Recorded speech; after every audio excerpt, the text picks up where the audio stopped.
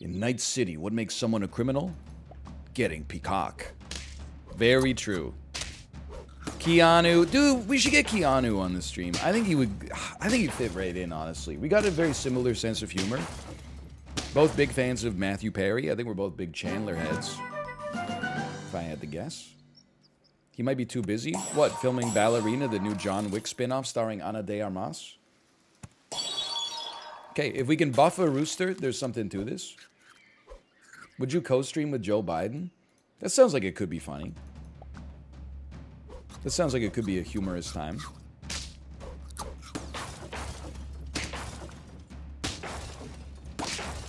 You think he would say Minnesota? Joe, we have a lot of jokes on the stream. We really liked when you were at that uh, rally and you were naming U.S. states. Do You think you could do an impression of that live for us right now?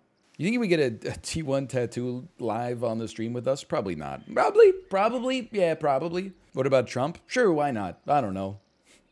I did like uh, the interview that went viral yesterday where they were like, the midterms are tonight. Uh, what do you think is going to happen? And he says, I, I, this is just uh, like paraphrasing, but he was like, well, I think if they win and they do, I should get all the credit. And I think if they lose, I should get none of the blame. But I bet that's not going to be how it's going to go.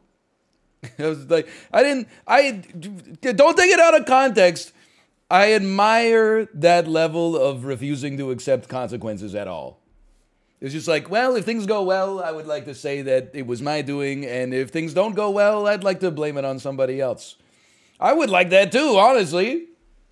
Uh, you know, uh, it's kind of my energy at any office job I've ever had in my life. Well, I think if they win, I should get all the credit, and if they lose, I should not be blamed at all, okay? But it'll probably be just the opposite.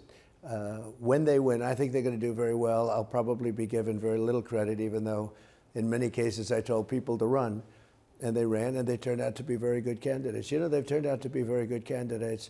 Uh, but usually, what would happen is uh, when they do well, I won't be given any credit, and if they do badly, they will blame everything on me. So I'm prepared for anything, but we'll defend ourselves.